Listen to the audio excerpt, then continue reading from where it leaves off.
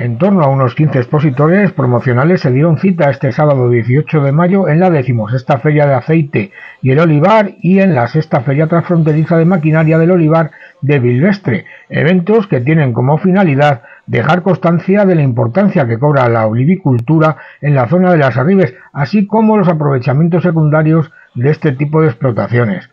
Organizadas por el ayuntamiento de esta localidad y financiadas por la Diputación Provincial, el objetivo de esta jornada era promocionar y poner en valor los aceites originarios de esta zona con unas profundas raíces olivareras, así como dar a conocer otros productos derivados de la olivicultura y la agroalimentación. El acto inaugural corría a cargo del alcalde de Bilvestre, Juan Ángel Gorjón, quien estuvo acompañado de varios integrantes de la corporación municipal. En una breve intervención, el regidor agradeció a los expositores su presencia por dar vida a esta feria durante sus 16 años de existencia.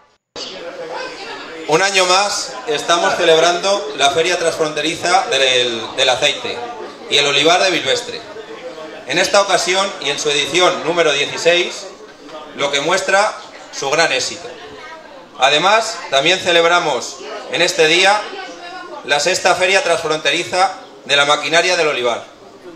Hoy podemos disfrutar de todos los productos y cada uno de los expositores que cada año nos visitan, a los cuales desde aquí quiero darles las gracias por ser tan fieles en esta cita y darles su reconocimiento ya que ellos y sin ellos esta feria no sería lo que es, ni habría llegado a su decimosexta edición, los cuales paso a nombrar a continuación.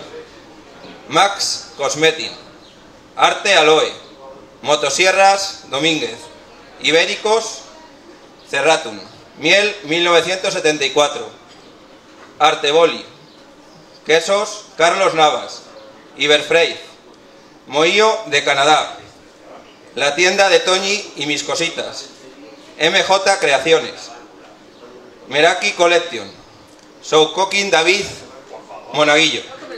También podemos disfrutar de una ponencia sobre la maquinaria para el olivar que se desarrollará en la carpa para todos los interesados en el tema. Además, contamos con la presencia de David Monaguillo, el cual nos realizará una subcooking con degustación de productos y con denominación de origen de la zona. Con esto solo queda decirles que disfrutéis de cada una de las actividades programadas y muchas gracias por asistir todos los presentes expositores y visitantes. Muchas gracias a todos, queda por inaugurada la feria y a pasar un buen día.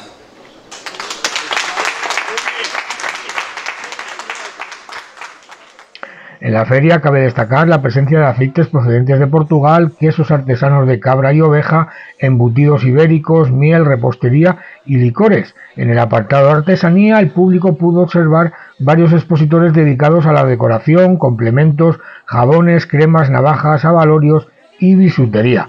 También el ayuntamiento estaba representado con un puesto de souvenirs conmemorativos de la feria en el que se obsequiaban navajas, vasijas de barro y botellitas de aceite de oliva a aquellas personas que habían adquirido algún producto a los expositores de la feria.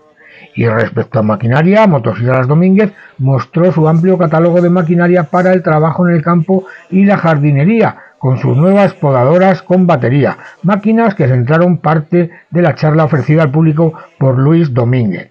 Asimismo, el chef David Monaguillo protagonizaría un show cooking con degustación de productos de denominación de origen de la zona.